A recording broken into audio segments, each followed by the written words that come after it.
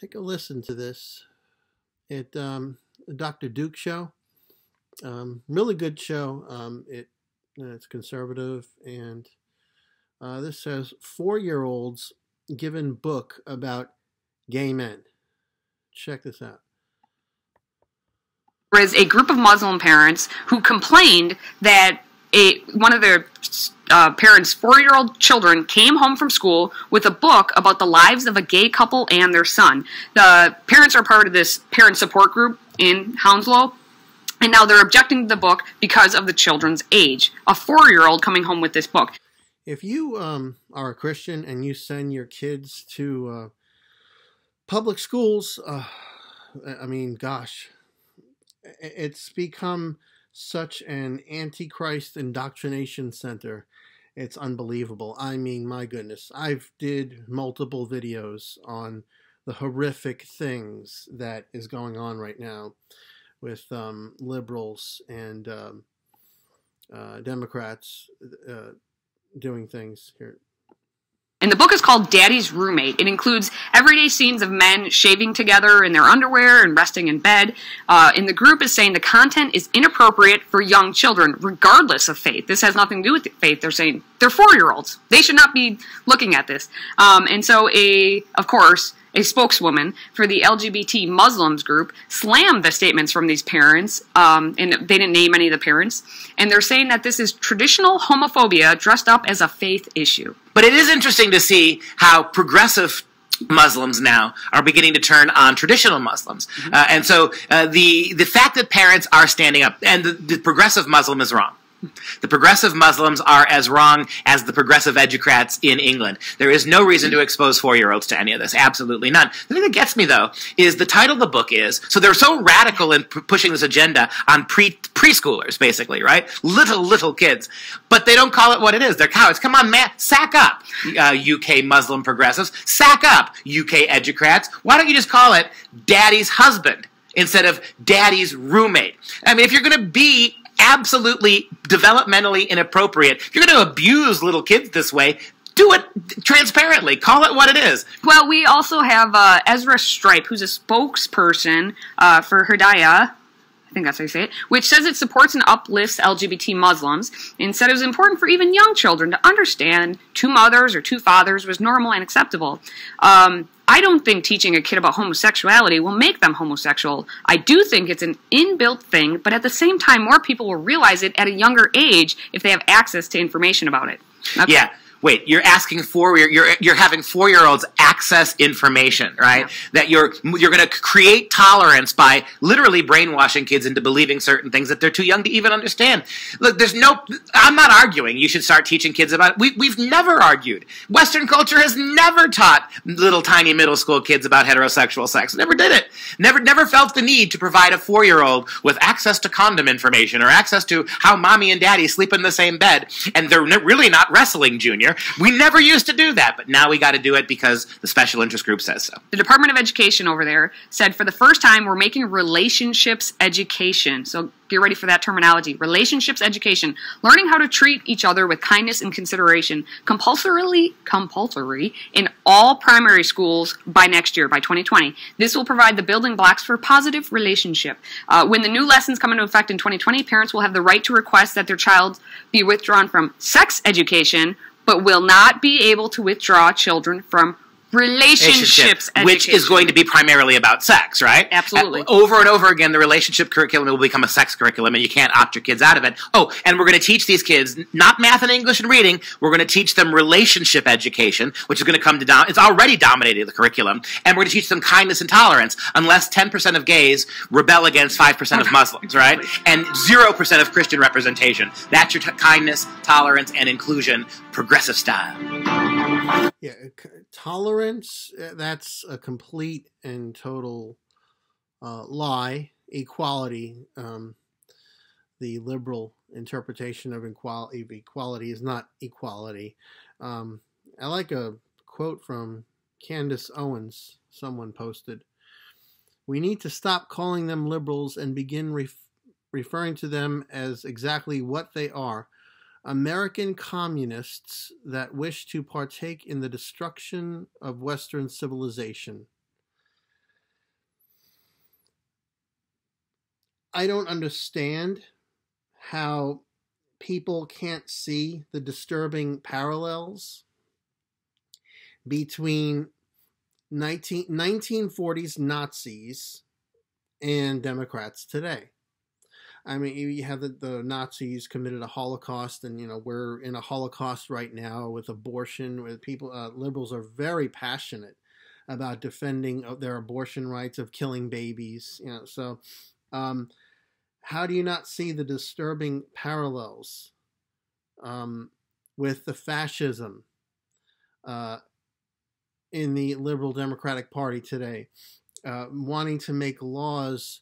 To sue someone for um, not calling someone by their preferred gender pronoun. That actually happened. I did another video um, talking about uh, there was an old, an old, man. He was fined fifty-five thousand um, dollars for something like that. There was an article that um, I believe uh, Dr. Um, James White commented on. Um, he said, Want to know one of the most aggressive totalitarian states when it comes to the promotion and forced acceptance of the most radical revolutionary ideas of sexual anarchy? Look no further than Canada. This is evil, wicked, and must be stopped. Um, I believe it was this article he was uh, referring to. Uh, father gagged, found guilty of, quote, family violence for calling his trans daughter a she. Um, uh, Supreme Court, uh, British Columbia, uh, Canada declared a father guilty of family violence against his 14 year old daughter on the sole basis that he had engaged in expressions of rejection of her gen- uh, gender identity. These expressions revolved entirely around his polite refusal to refer to his daughter as a boy in private and his steady choice to affirm that she is a girl in public. Uh, a previous previously reported the uh, the BC Supreme Court ordered in February that 14-year-old Maxine received testosterone injections without parental consent. Accordingly, um, Maxine began regular injections at British Columbia, BC Children's Hospital over the course of the last two months. This is absolutely insane. The, uh, I mean, what can you what can you uh, uh, say to um, the, uh, the the child abuse that that's the the Liberal Democratic Party is uh, committing? I said this before. Um, the only difference between a 1940s Nazi and a Democrat today are intentions. Uh, intentions. They're committing the same sins. They're committing a Holocaust. They're committing fascism. Uh, what difference do you see? I, I mean, besides intentions and the way they dressed, um, they're committing the uh, same sins. Um,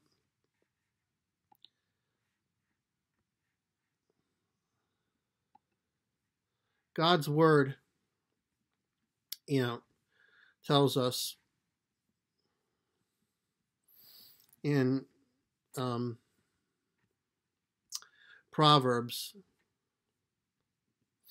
it's uh, had that verse. Where is it now? I uh, jumped off the page and I wanted to um, throw it here in this um, uh, in this video. Um, Proverbs 10:20. Um, God's word tells us the heart of the wicked is worth little. the the this craze for um, promoting indoctrinating kids to be homosexual friendly. This is the result. If you read romans 1 uh, chapter 1 romans 1 in the bible uh, you'll have a picture of what a nation under the judgment of god looks like. This you know the west is under the judgment of god currently. God is withdrawing his grace um, and he's delivering people over to the sins and the lies that they want to believe. And when that happens in a culture, you'll see that homosexuality becomes uh, a big thing. And that's spoken about in Romans chapter 1, verses uh, 18 to 32. I've recommended books before um, because as Christians, um, there is going to be serious persecution coming, I believe. I think um, in the United States, uh, it's already here, but I think it's going to get a lot worse the way that um, uh, things are going. And Christians have to be mentally, spiritually prepared for this. Um, this this is not this is not a joke. This is no playing around. We have to be ready to give a defense for what we believe. We believe the Bible is God's word. We have to proclaim the gospel to people. We have to tell them um, that God commands everyone to repent of their sins and, and believe on Jesus, and He has to be their Lord. That He He He took the wrath of God on the cross for the sins of His people. He was resurrected. We believe on faith alone. We'll be saved from God's wrath, eternal the eternal um, punishment of hell that Jesus spoke about. But um, I recommended some books uh, in defense of the Christian faith. Uh, that's what apologetics is. Um, I believe pre- presuppositional apologetics is the most biblical way to do apologetics. There's some really good books I recommended. Uh, Always Ready by uh, Greg Bahnsen, Dr. Bahnsen. Um, Dr. Jason Lisle, Ultimate Proof of Creation, um, Confounding the Critics by Bodie Hodge.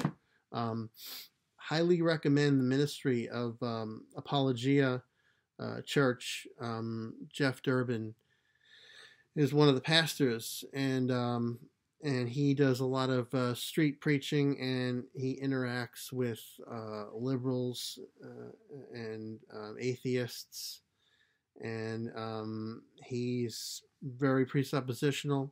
There was a really good debate he did in California. If you go to uh, YouTube and type in "epic debate on God's existence," and it's really great debate. It was three against three, uh, Christian versus atheist, and um, we God's word commands Christians to give a defense for what we believe, and we we have to do that. If we, I mean, if you love something, you're going to want to defend it. If someone's speaking wrongly, I mean, if someone has a spouse and they hear someone speaking wrongly against their spouse, if they do love their spouse, they're going to want to defend their spouse. There's no question.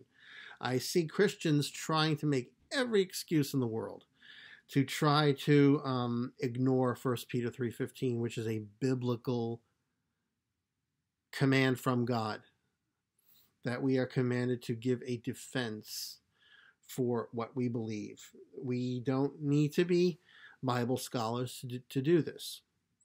We don't need to have answers for everything to do this, to give a defense for what we believe. There is serious persecution coming on Christians, and um, it's coming from the lib- the Democratic Party, the liberals.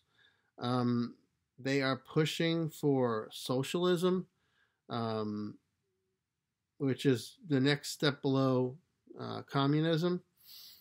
Um, our freedom is being taken away, and my goodness, just go look at some of my videos that I've done um, on all that. If, if it has liberal or something like that, Democrat in the title of it, you'll see me go through some um, disturbing news reports but um, our freedom is going, and um, Christians are going to have to be ready because um, unfortunately, I'm I see the great majority of the ones that I see they're on such an such a infantile baby level of the Bible that their level of uh, their understanding of theology and biblical theology and so on is extremely beyond pathetic. And uh, the Bible says that we're supposed to study to show ourselves approved and be ready to give a defense for what we believe. And um, that's what Christians, I think, should really be uh, concentrating on. That and the giving of, of, of the gospel to people. Because, and you know what? Also, I, I said before, um, having a biblical worldview means that um, we are guided by all of our actions, by our theology, our biblical theology. Um, we look at everything through the lens of what the Bible says, and we're guided by all of our actions by our theology, our biblical theology. And since voting, you know, politics, we we vote, and since that has to do with um, laws that have to do with moral issues that the Bible addresses. Um, we Christians need to be trying to vote as conservative as we can and be involved because, um, you know, parents, this is the world you're leaving. Uh, for your kids, this you know, uh, my goodness, what they say, 65% of millennials um, want socialism. Uh, Generation Z, that's this uh, coming younger generation is uh, by some it's being called the first uh, truly secularized um, generation. So that's that's scary, but we know God has everything in, under control, and God has a certain elect people, but we need to seriously uh, be ready to um, proclaim the gospel and defend the gospel. Um, the Bible is uh, you know, under attack all over the place. We have um, um, social media. We're in the, in the internet age. We live in the age of the internet where it's so simple for people to uh, Google something and get a whole bunch of arguments against the Bible and just throw it at Christians and the great majority of Christians that I see are not even close to being as ready uh, to engaging in meaningful uh, apologetics. And I encourage you to uh, to do that, to be ready to give a defense. Um, I think a really important uh, thing is when we present the gospel. Um, I think it's very important to bring to the non believers' attention that um, what God's word says in Romans 1, that the only reason um, why a person really rejects the gospel, I mean, people make up any excuse in the world, but the, the heart of the reason is because they love their sin and they want to suppress the truth. They don't want to believe. They have a bias and um, they don't want to live the way God, uh, God wants them to live, so they are suppressing the truth in unrighteousness. Romans 1 really goes to the very heart of the issue, and I think it's effective and important to bring that up to a non-believer in our uh, in our witnessing. So please um, God's word says to be ready to give a defense for what we believe, and we have to proclaim the gospel to people. This is a gospel issue.